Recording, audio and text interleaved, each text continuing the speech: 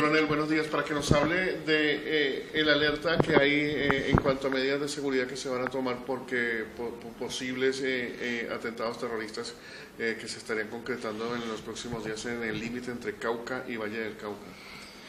Sí, aquí nosotros hemos tenido la alerta desde el mismo momento en que inició esta oleada terrorista por parte de las FARC en el departamento del Valle, en las unidades vulnerables, incluimos lógicamente Florida, Pradera, la parte límites con el departamento del Cauca en ese sector.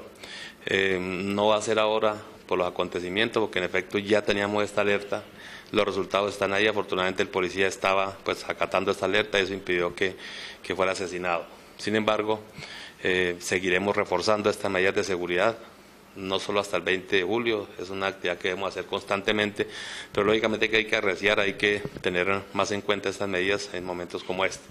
Eh, no solo allí, en Florida, pues como consecuencia del acto explosivo, vamos a enviar un refuerzo especial con nuestro personal especializado, Escuadrón Móvil de Carabineros, igualmente un refuerzo a esta unidad policial, por ningún motivo se nos ha pasado por la cabeza levantar la policía de allí, todo lo contrario, reforzar, seguir haciendo presencia del Estado, presencia de la Policía Nacional en este lugar, un trabajo conjunto con la comunidad, solidarizarnos también porque resultaron afectados en algunas de sus residencias en este atentado terrorista de las FARC.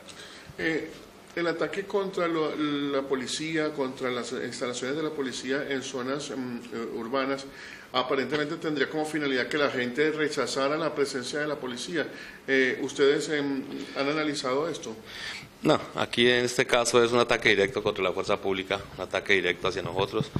En este lugar del municipio tenemos una aceptación alta, absolutamente alta, no hay ninguna posibilidad, ni lo hemos considerado así, de que se esté buscando un rechazo por parte de la comunidad a la policía, todo lo contrario, las eh, eh, manifestaciones de solidaridad el día de ayer fueron, eh, fueron muy notorias, personal de la comunidad se nos acercó a darnos su solidaridad y todo lo contrario, seguimos allí trabajando, para nosotros, para ellos somos eh, eh, sus vecinos, sus amigos, somos indispensables, eh, atención a que pues brindamos la seguridad que ellos requieren. Hay un plan pistola concretamente em, decretado por parte de la guerrilla de las FARC, ¿en, qué, ¿en qué situación de alerta se encuentran ustedes como uniformados de la policía?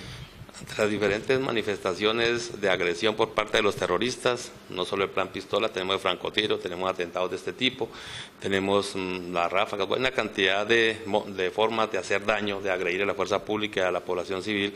La alerta es para todas las manifestaciones de agresión que podamos sufrir la fuerza pública. Coronel, hay un hombre que está desaparecido en el departamento, en el municipio de Cerrito, aquí en el departamento del Valle del Cauca. ¿Quién es y cómo desaparece? Bueno, se trata de un señor, el cual pues nos informa que aspira a inscribirse para, para ser candidato a concejal del municipio de Cerrito, el señor Javier Serrano Copete.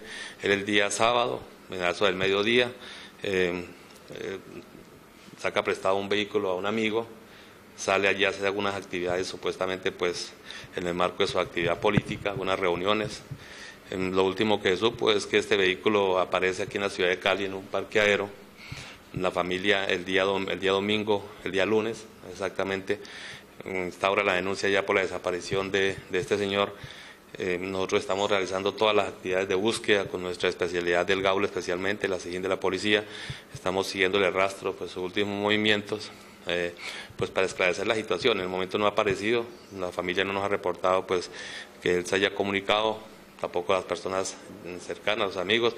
Eh, continuamos porque hasta el momento es algo incierto, no, tenemos conocimiento ni la familia ni nosotros, pero nuestra obligación es investigar, nuestra obligación es ahondar hasta que logremos esclarecer qué sucedió. Esperamos que esta persona pues logre llegar a su, residencia, a su núcleo familiar lo más pronto posible. ¿Tienen ustedes alguna hipótesis para empezar las investigaciones? Ante este caso, pues se manejan todas las hipótesis que puedan pues eh, nosotros tener presente una desaparición, pues se haya ido para algún lugar de pronto, mmm, que haya sido raptado, aunque, aunque para que se configure este, esta situación se requieren algunos otros aditamentos como una llamada, una exigencia económica. En este momento no se tiene absolutamente nada al respecto, pero es necesario considerar todo para así pues poder encauzar bien la investigación.